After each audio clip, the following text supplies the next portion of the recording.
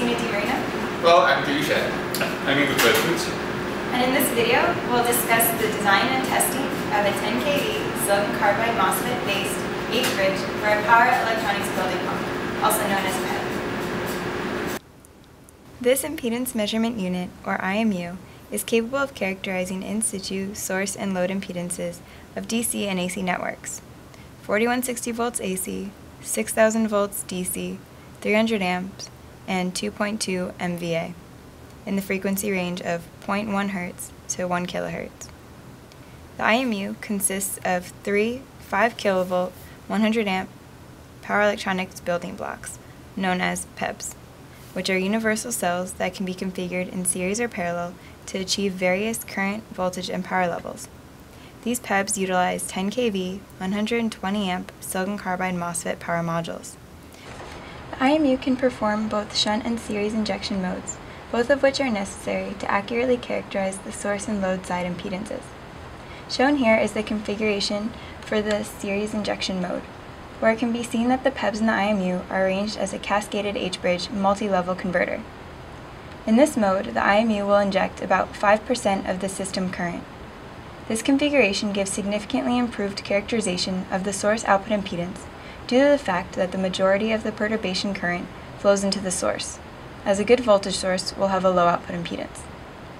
In this configuration, the IMU can be used to measure the source output impedance of systems up to 15 MVA. For the series injection mode, the PEBs in the IMU are arranged as modular interleaved single-phase converters. In this mode of operation, the IMU will inject approximately 5% of the nominal system line to neutral voltage. Contrary to the shunt current injection mode, the series voltage injection mode gives greatly improved characterization of the load input impedance. In this configuration, the IMU can be used to measure the load input impedance of systems up to 2.2 MVA. So this is the front part of the uh, impedance measurement unit. And uh, you can basically see three PEBs connected, that could be connected in either series or shunt. And then uh, you will see, distribution cabinets on the top. They contain fuses, bus bars, insulators, and there is also a contraption, there is a power converter that serves uh, in the series configuration mode to uh, act as a solid state switch. There is another power converter made, uh, this is not silicon carbide, this is uh, two 3.3 kilovolts uh, anti-series IGBTs that serve uh, as a solid state switch. And then uh, each three of the cabinets are basically bolted together to, to get the idea. it's obvious that we have inductors and capacitors in each PEB why so why so many capacitors? The reason is uh, this is measurement, the impedance measurement unit that measures impedances in a frequency range from 0.1 Hz to 1 kHz. To go so very low, so low frequency, uh, it is really required to have a big capacitor on the DC link in order to achieve such low frequencies in measurements. And then inductor is obviously due to the ripple limitation, current limitations, uh, requirements.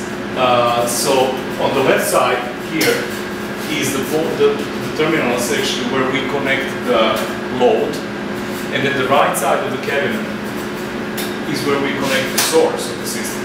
So this is an in situ measurement device. It will measure impedances when the system is running, it's operating at uh, whatever power level, and particular operating point where we would like to obtain small signal impedances, uh, that these are the points where you would connect the source to load.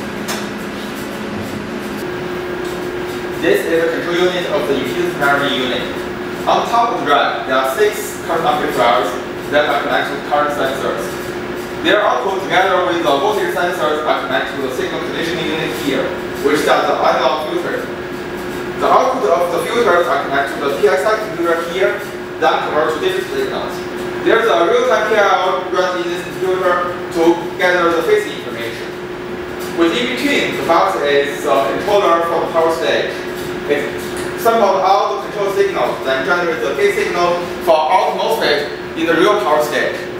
This control box also controls configuration and sequencing of all paths during power up and power off. All these control blocks are connected through Ethernet through an Ethernet switch here. Then a single connection will be made to the computer running graphical user interface. Thank you very much for watching this video.